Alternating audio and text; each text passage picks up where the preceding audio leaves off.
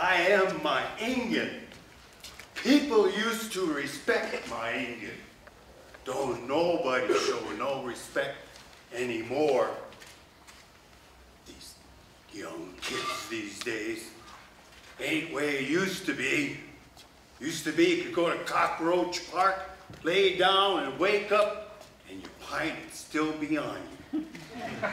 Nowadays, walk down the street without some ragtag, million dollar sneaker dude thinking he's got the world around his neck on some $50 gold chain.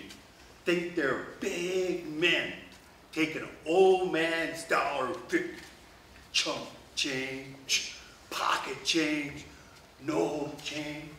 Hey bro, you got 50 cents for the bus?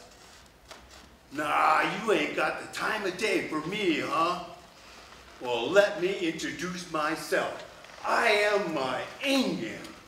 You know what that means? That means loyal for one thing. Bet your grandma's name is Mendy Way. I'm the wolf, that's me. We protect our own.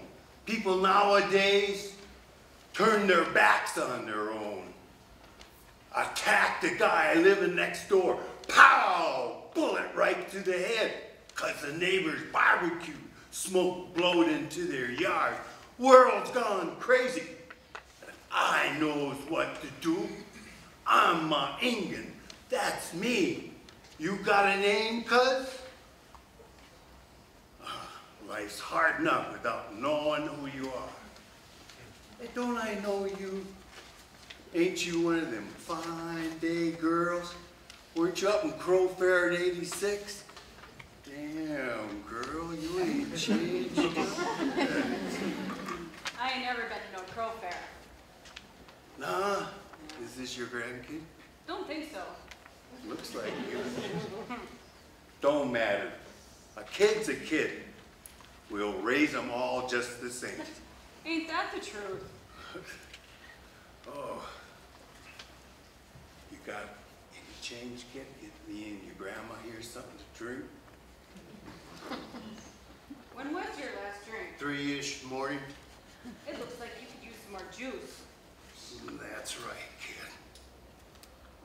Sometimes the only cure for poison is more poison.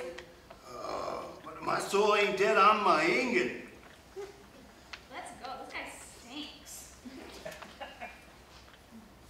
Could be that a fresh cup of water could kill somebody. Don't be saying that he stinks. Well, come on, he